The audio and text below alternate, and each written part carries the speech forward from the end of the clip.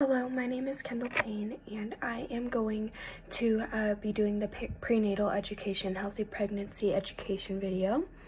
Um, so first, I'm going to introduce myself, perform hand hygiene, um, perform or provide privacy, and verify uh, two patient identifiers.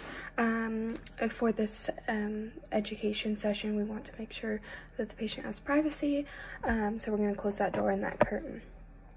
So first we want to ask the patient or educate the patient on how often uh, they want to meet with a provider during the 40 week pregnancy.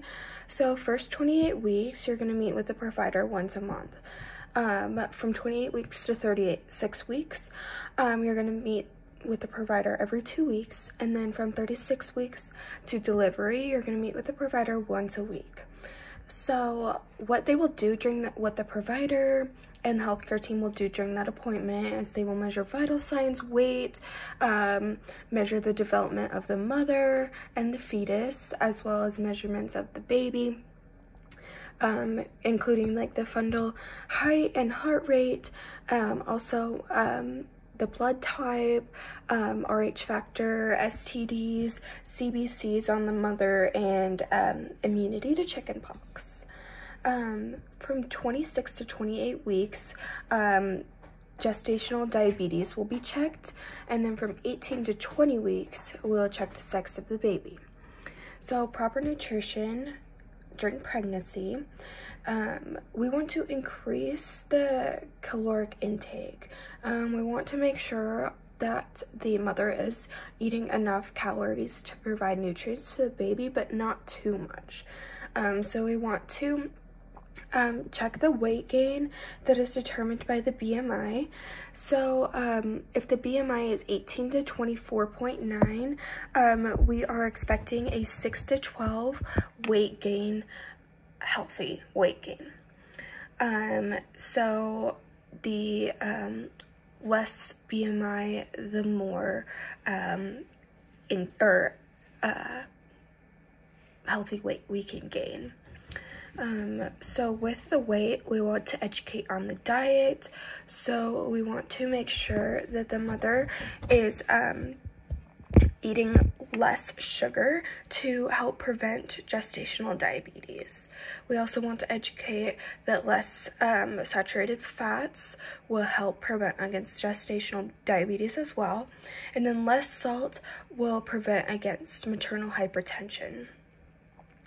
So uh, we also want to educate the mother on uh, taking a prenatal vitamin um, with calcium and iron. Um, we especially want the mother to um, take an iron supplement if they are anemic. We also want the mother to start a folic acid supplement to prevent neural tube defects. Um, and then we want to educate on proper exercise. So it is important that we tell the mother that these need to be low impact workouts, so nothing such as running. Um, a good exercise for mothers is yoga. Um, 30 minutes a day is enough exercise for yoga and the mother. Um, we also want to cover common complaints with pregnancy. So, lots of mothers complain of nausea, uh, vomiting, um, and that may be relieved with light snacking or toast. Um, this can cause you to not want to eat, but it's best if you do eat during these cases of nausea and vomiting. Um, we also see lots of fatigue that can be um, helped with periodic rest periods. Mothers also complain of constipation, and we could um, help this with increasing fluids and fibers.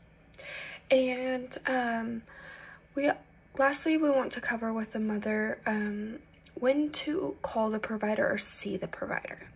So, if the mother um, notices any bleeding, any bleeding can be a sign of miscarriage, and we want to contact the provider immediately. We um, also want to contact the provider for hyperemesis gravidum, gravidium, um, which is uncontrolled vomiting. Um, this can be caused by severe hydration, poor nutrition, and can ultimately end in hospitalization. Um, the other thing to call the provider about is pl placental abruption. Um, so this can be uh, a uh, this can occur as increased pain in the abdomen, dark red bleeding, and this can be deadly to the mother. Um, and the cause of this is hypertension, so we want to let the provider know immediately. Um, lastly, we want to ask the mother if they have any questions, anything we can help them with, and um, be sure that we help them to schedule um, their appointments during their 40 week pregnancy. That way, we could cover all of this information for the duration of the pregnancy. That way, we aren't overloading them with education um, right at the beginning of their pregnancy. So, yeah, skill complete.